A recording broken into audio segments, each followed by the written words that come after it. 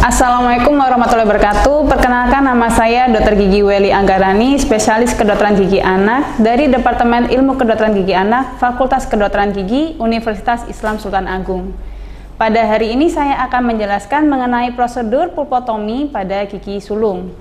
Seperti yang kita ketahui, eh, tujuan dari pulpotomi itu adalah mempertahankan vitalitas gigi yang mengenai eh, pada bagian korona. Jadi indikasi dari pulpotomi itu adalah gigi yang masih uh, vital, kemudian uh, dia mengalami uh, overinstrumentasi karena kelebihan uh, perawatan pada operator. Lalu uh, yang menjadi kontraindikasi adalah gigi yang mengalami uh, pendarahan disertai dengan abses. Alat yang dibutuhkan untuk perawatan pulpotomi yang pertama adalah diagnostic set yang terdiri dari uh, kaca mulut, pinset, eskavator, sonde lurus, uh, ada agate spatel dan semen plastis instrumen.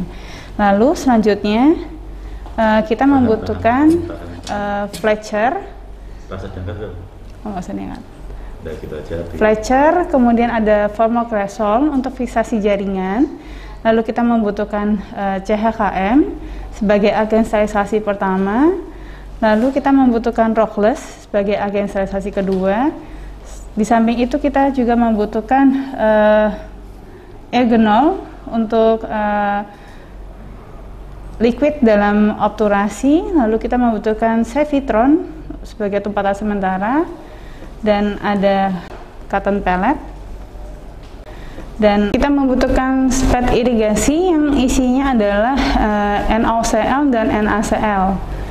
Jadi uh, untuk agen sterilisasi irigasinya kita bisa uh, berubah ya, bisa menggunakan kolesidin uh, sesuai dengan uh, kebutuhan alat dan bahannya.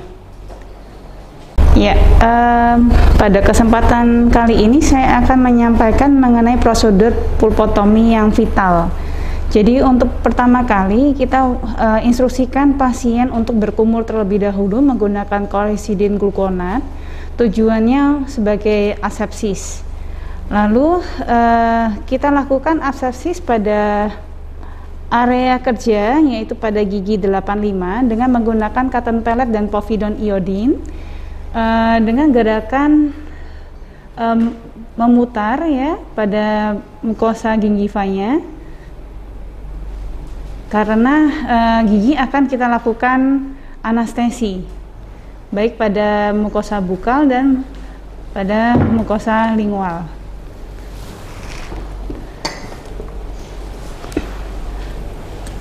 Selanjutnya kita lakukan uh, ini ya anestesi sesuai dengan uh, pada intraligamen ya. Kemudian setelah sudah bekerja anestesinya kita lalu melakukan preparasi. Preparasi menggunakan ron bur dengan arah e, bur tegak lurus dengan e, apikal gigi.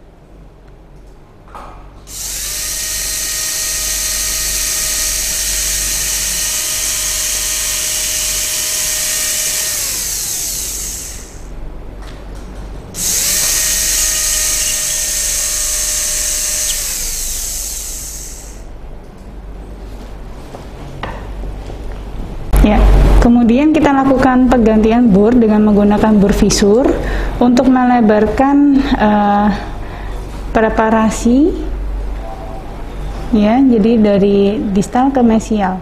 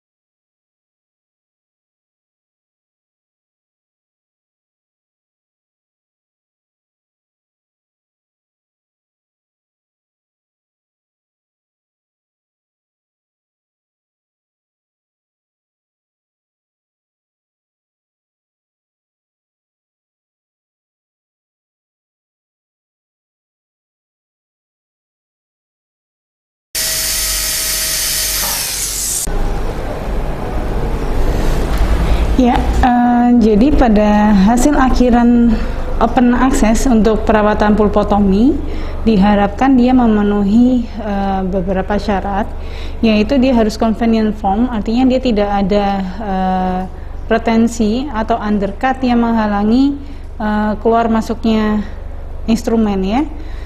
Dan ini bisa dilihat pembukaan pada kamar pulpanya ini bisa uh, luasnya tidak ada undercut di sini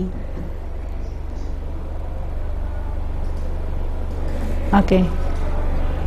Jadi apabila pada kasus ini uh, ditemukan adanya suatu pendarahan atau pinpoint, maka kita bisa melakukan fiksasi jaringan pulpa dengan menekan menggunakan uh, formal cresol selama 3 sampai 5 menit. Ya, kita menggunakan formal cresol. Jadi kita uh, ambil satu tetes, kita letakkan di depan gelas.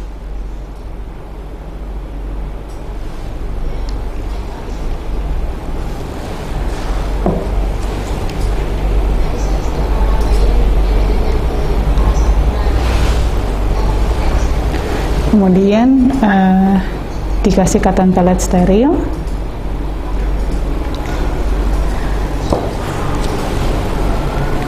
lalu pada area yang perdarahan atau ada pinpoint kita lakukan penekanan pada dasar kavitasnya selama 3-5 menit jadi formokresol ini merupakan suatu bahan yang memiliki uh, antibakteri dan juga dia antiinflamasi juga sebagai agen hemostasis yang cukup baik.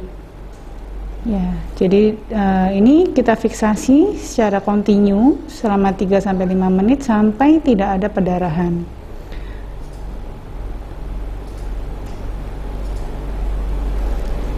Jadi setelah kita lakukan uh, fiksasi jaringan menggunakan formokresol, kita lakukan irigasi terlebih dahulu untuk menghilangkan sisa-sisa preparasi yang tertinggal pada kavitas dengan menggunakan NaOCl lalu uh, kita bilas dengan menggunakan NaCl ya.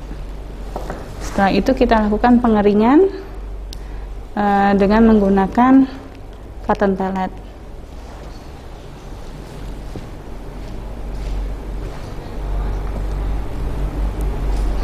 Lalu uh, gigi siap kita lakukan obturasi.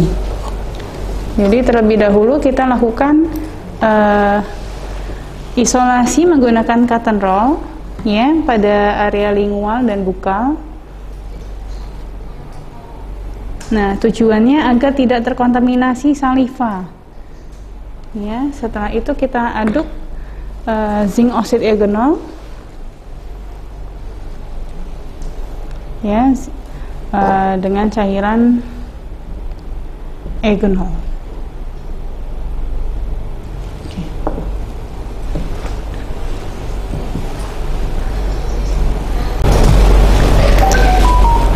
Lalu kita siapkan untuk bahan obturasinya yaitu menggunakan zinc oxide egenol dengan powder sebanyak 1 sendok takaran.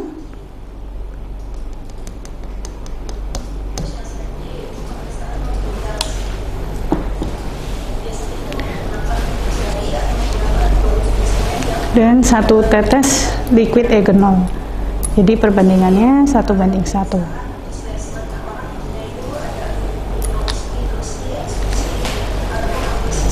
lalu kita aduk menggunakan uh, plastis instrumen ya.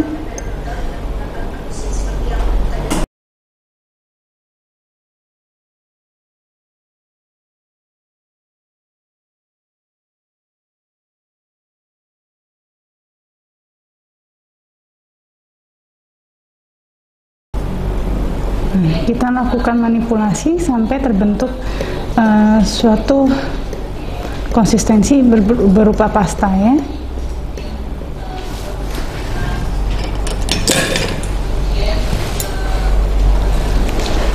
Jika sudah kita ambil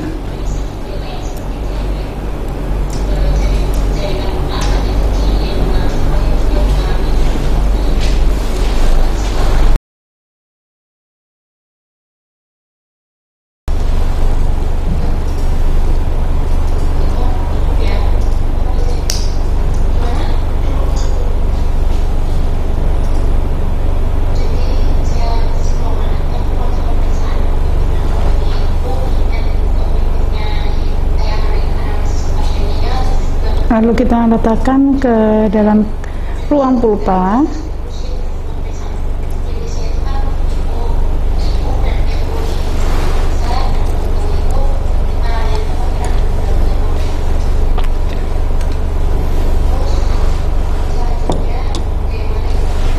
Dan jangan lupa kita lakukan kondensasi ya pemadatan uh, agar tidak adanya uh, gelembung udara pada saat obturasi dan diharapkan pengisiannya bisa hermetis.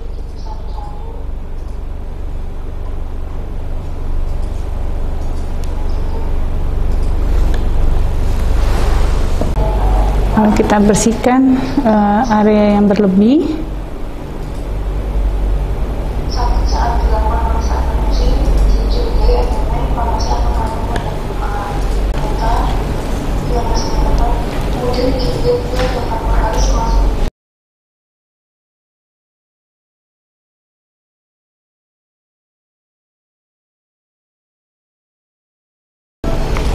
terlihat ya pengisiannya hanya sampai uh, pada kamar pulpa saja. Lalu uh, selanjutnya kita lakukan penutupan dengan menggunakan Sevitron untuk mengevaluasi apakah pengisian kita sudah hermetis atau tidak. Jadi kita tutup sementara menggunakan Sevitron, lalu kita lakukan pengambilan ronsen uh, periapikal.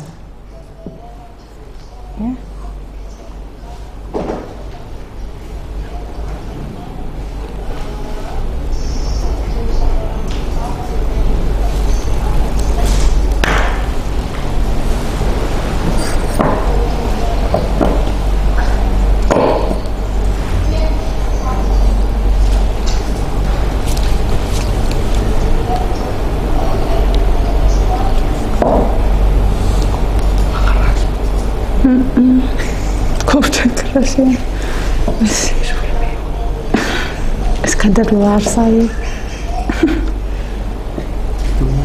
di sini dulu ya Allah parah banget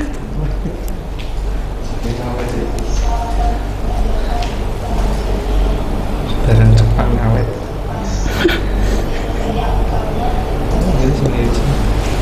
ya, jadi kita ambil kafit ya atau sevitron kita tutup.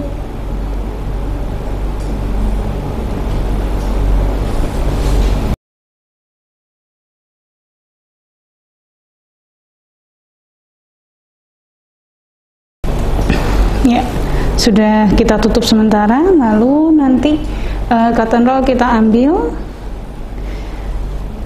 Nah pasien kita instruksikan untuk melakukan ronsen penunjang uh, ronsen periapikal untuk mengevaluasi apakah obturasi yang kita lakukan sudah hermetis atau belum. Kemudian setelah kita lakukan evaluasi menggunakan ronsen periapikal dan didapatkan pengisian yang kita lakukan sudah hermetis, maka pada tumpatan sementara tersebut kita lakukan uh, pembongkaran ya Jangan lupa kembali kita lakukan isolasi adekuat dengan menggunakan cotton roll pada daerah e, mukosa bukal dan mukosa lingual. Tujuannya agar tidak terjadi kontaminasi saliva. Lalu kita bongkar tumpatan sementaranya.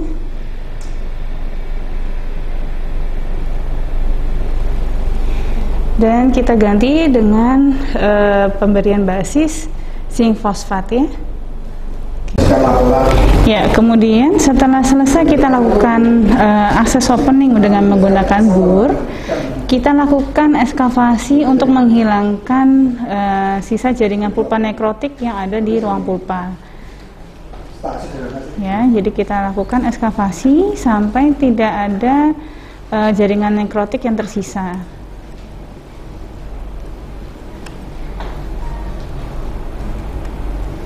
Selanjutnya kita lakukan irigasi adekuat dengan menggunakan salin steril pada kavitas. Uh, tujuannya untuk membersihkan sisa-sisa debridemen yang uh, ada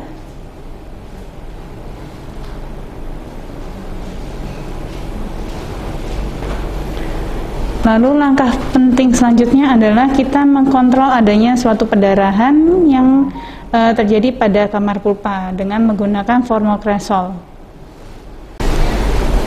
Ya, kita gunakan formokresol karena ini menjadi suatu uh, bahan pilihan untuk kita lakukan manajemen fiksasi jaringan pulpa ya. Dia sebagai agen hemostatik yang bagus.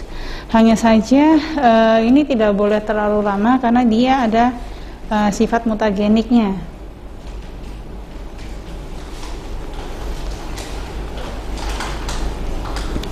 Kita ambil dengan uh, menggunakan cotton pellet steril yang telah diberikan formokresol. Lalu kita fiksasi selama 3 sampai 5 menit pada kamar pulpa. Kita lakukan fiksasi uh, secara kontinu jadi tidak boleh terputus.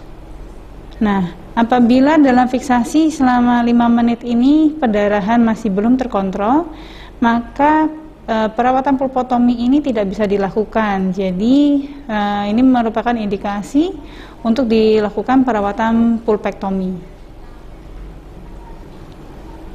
Ya, kita lakukan fiksasi Ya, setelah selesai baru kita bisa lakukan uh, pengisian dengan menggunakan zinc oxide eugenol karena pada prosedur pulpotomi vital kita hanya melakukan one visit saja ya. Jadi uh, hanya satu kali pertemuan. Ya kita gunakan uh, powder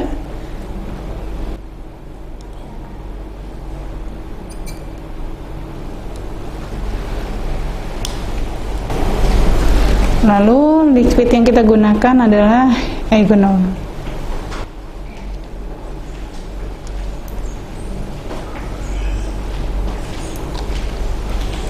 Kita lakukan uh, manipulasi ya sampai terbentuk konsistensi berupa pasta.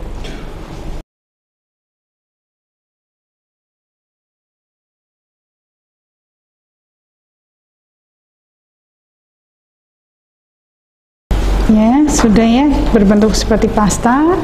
Lalu kita ambil uh, gunakan plastis instrumen.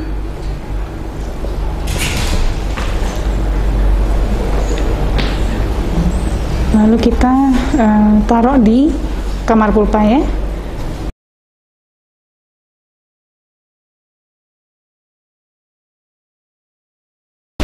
dan jangan lupa kita lakukan uh, kondensasi dengan tujuan untuk memastikan pengisian yang kita lakukan ini hermitis atau tidak ada uh, gelembung udara.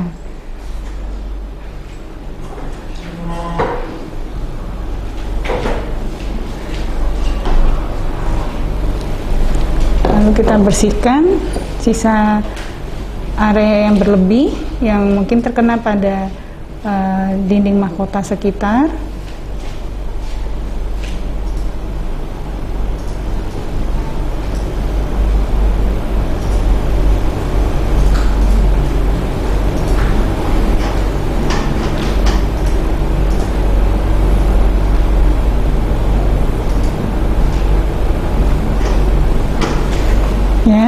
Ingat dalam pengisian kita harus memastikan uh, isolasi adekuat ya, jangan sampai terjadi kontaminasi saliva.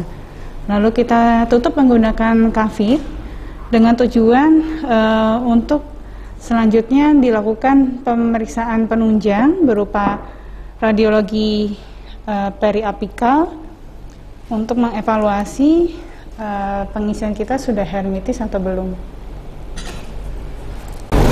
Ya, jadi setelah kita lakukan obturasi menggunakan zinc oxide eugenol, kita lakukan penutupan e, menggunakan kafir.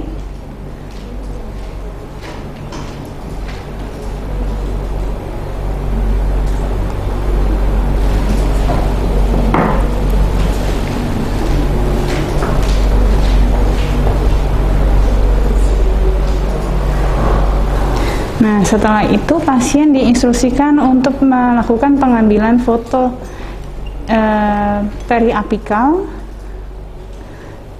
untuk mengevaluasi apakah obturasi yang kita lakukan sudah hermitis atau belum.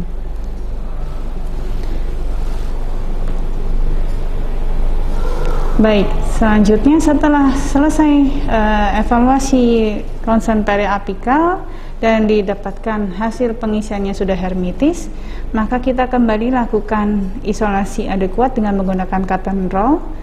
Lalu kita lakukan pembongkaran pada tempatan sementaranya dan akan kita ganti dengan menggunakan uh, basis zinc fosfat.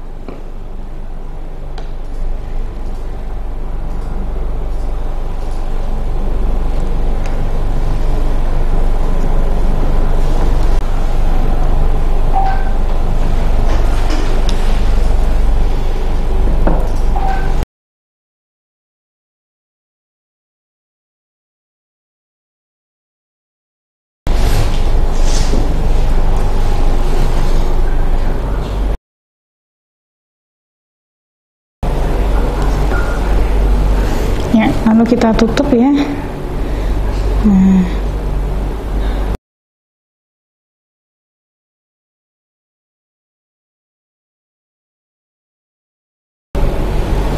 dan selanjutnya kita uh, lakukan pembersihan pada area yang berlebih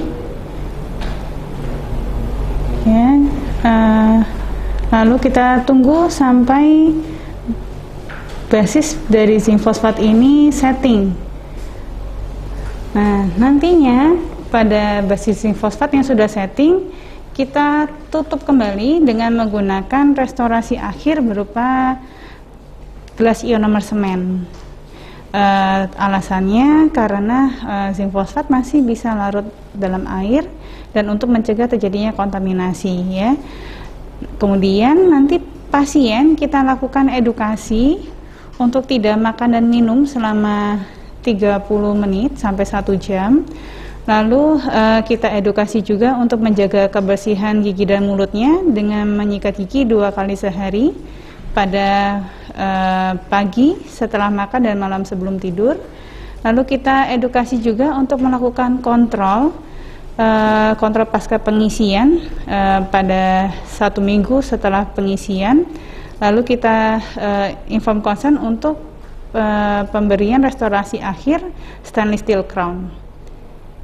Iya, uh, sudah selesai tadi prosedur perawatan pulpotomi yang telah saya uh, simulasikan. Yang perlu kita perhatikan adalah yang pertama saat uh, indikasi perawatan pulpotomi hanya bisa kita lakukan untuk gigi sulung. Kemudian yang kedua uh, saat akses opening kita harus pastikan sudah terjadinya convenient form. Artinya tidak ada daerah undercut uh, sehingga memudahkan instrumentasi bisa bebas keluar masuk. Kemudian uh, yang paling penting adalah uh, perlunya eskavasi.